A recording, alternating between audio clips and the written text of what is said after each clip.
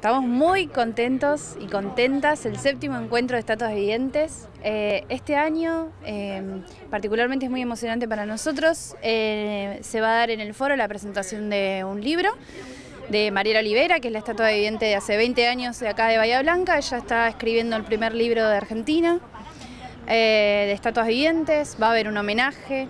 Así que ya con esa previa, mucha emoción. Y después el 9 y el 10 mismo va a ser en Casa de Cultura, el 9. El 10 va a ser en dos museos, 17.30 y 17 respectivamente, hasta las 20 horas más o menos. ¿En qué museos? Eh, dos museos, Museo de Arte Contemporáneo en Sarmiento 4. 450. Sarmiento 450 Em, así que ahí los esperamos a todos. Bien, y también habrá un seminario, ¿verdad? Sí, sí, después del encuentro tenemos con Lourdes a cargo un seminario intensivo, 10 eh, jornadas de 4 horas diarias.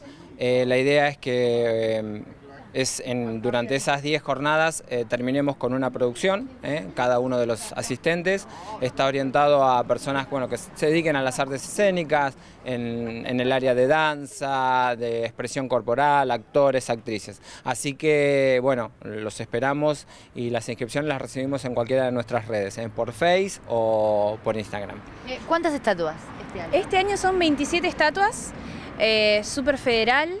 Hay 10 estatuas de todo el país, de Entre Ríos, Chaco, Santiago del Estero, Río Negro, Chubut, eh, provincia de Buenos Aires, tenemos Olavarría, Mar del Plata y Capital Federal.